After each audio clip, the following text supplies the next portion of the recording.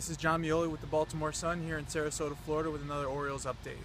Today we spoke to Matt Wieters for the second time since he left Saturday's game with the elbow soreness that was possibly related to the, sur- the Tommy John surgery that he had in 2014.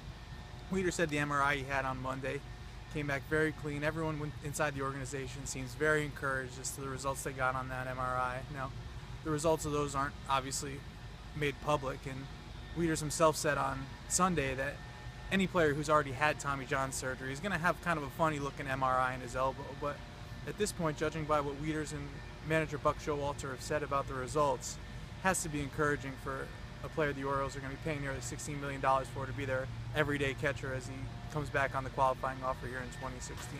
Now, as for when Wieters might be back in, you know, in spring training games, getting behind the plate, throwing, that's kind of still remains to be seen. As we saw last year with Wieters, when he did try to rush back and make sure he was ready for opening day. That caused a setback. He didn't make his Orioles debut until June. So while I'm not really sure when Wieters will be back into action, it seems like the Orioles are definitely encouraged with the news they've gotten on his elbow in the last three or four days.